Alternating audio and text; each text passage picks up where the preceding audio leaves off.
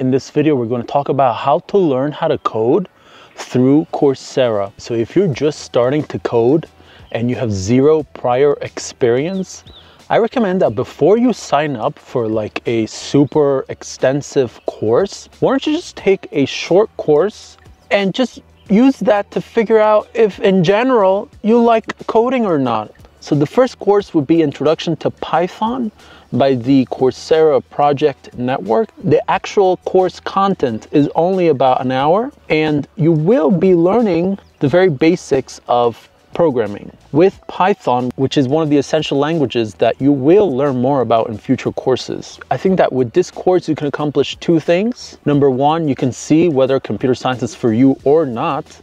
And the other thing that you're to get out of this course, it says it's to teach you a little bit how to start thinking like a programmer so that when you go into your next coding course, it's not going to catch you by surprise. You're already to have that mentality and you are going to be less afraid and more capable to get through the material. So once you complete this course, if you decide that you want to continue learning, I recommend that you take a full-on Python course. Just continue learning what you already started. The course I recommend is Crash Course on Python by Google. The cool thing about this course is that it's beginner friendly, so it doesn't require any experience, which means that you're already gonna go into this course knowing a little bit and you're going to feel more confident at the beginning of the course and it's going to help you increase your chances that you're going to actually make it through the entire course and the cool thing about this course is that it has a final project.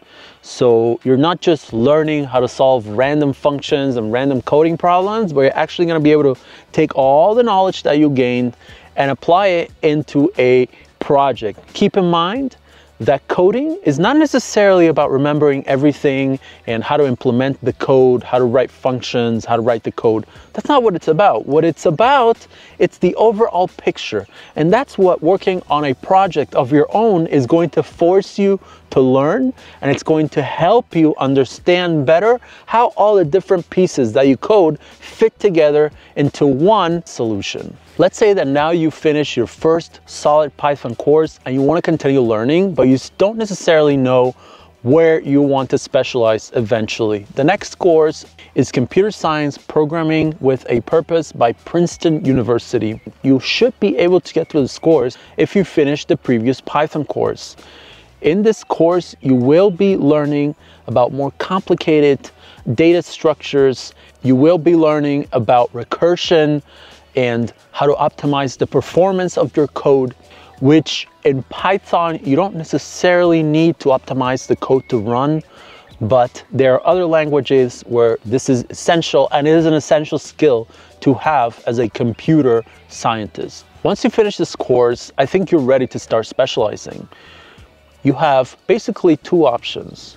Do you want to continue and pursue a professional certificate or do you want to continue and pursue a bachelor's degree? Through Coursera, you could do either. So if you wanted to pursue a bachelor's degree, the University of London offers an introduction to computer science and programming specialization. You will be able to use your grade from these courses in order to apply for their bachelor's degree program.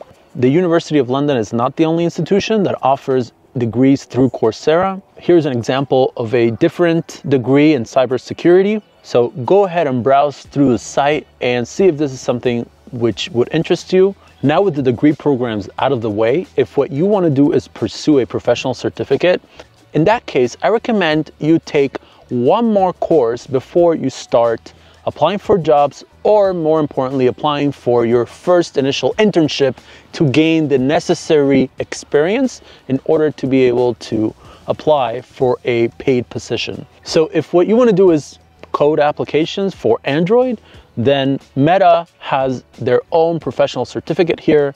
You're gonna learn not just how to code, but again, you're also gonna be learning about applying the big picture and completing your own coding projects, which is something that you could put on your portfolio and use that to apply for jobs in the field. You're also going to be learning about user experience and, and, user interface design, how to work with data as well and databases, JavaScript and React and React Native, uh, a project capstone towards the end, and they're even teaching you how to prepare for your coding interviews.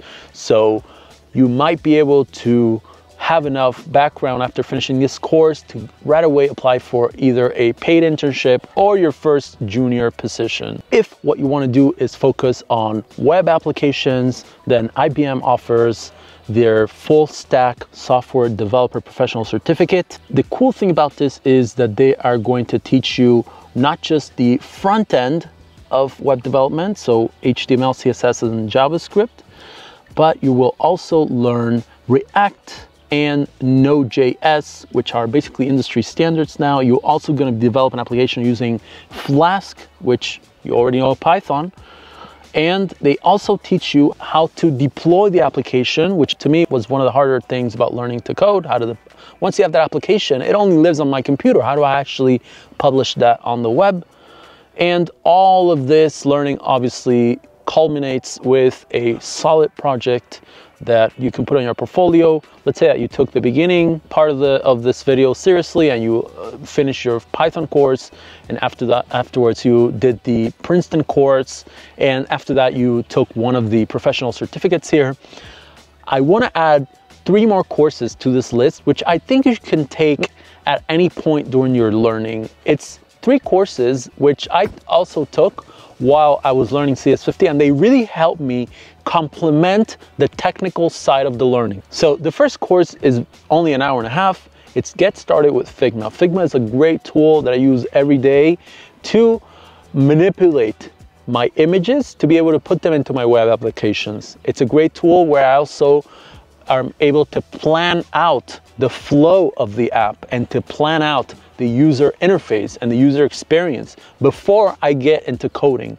It's an essential skill to have to be able to use Figma. Another course that I recommend you should also take is the Introduction to GitHub and Visual Studio Code.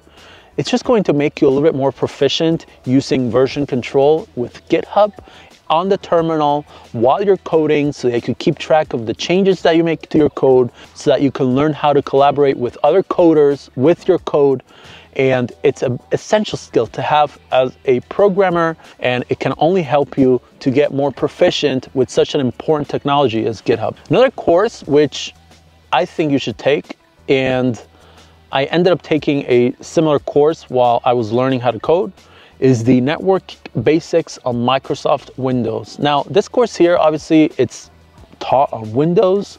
You could probably find a separate course which is perhaps more mainstream, more having to do with data networks, such as David Bombal's course. His course is very long. So here I'm bringing this one. It's only two hours long. I recommend you take it so you have at least some concept in your head of how networks work. It's a totally different discipline. It falls within the IT industry, and it's not something that, in general, the main coding computer science courses teach. CS50 taught me about networking and they only had about a 15 minute video on the topic. So I recommend you take this course and again you could take it at any point during your learning. I recommend you also take Docker so it's a way to containerize your applications and be able to deploy them onto the web. It's a skill that you will need eventually, especially if you want to go into the full stack web development and again, it's one of those skills that a lot of the main courses skip. And now this last course that you could also take, it's I would say it's an optional one.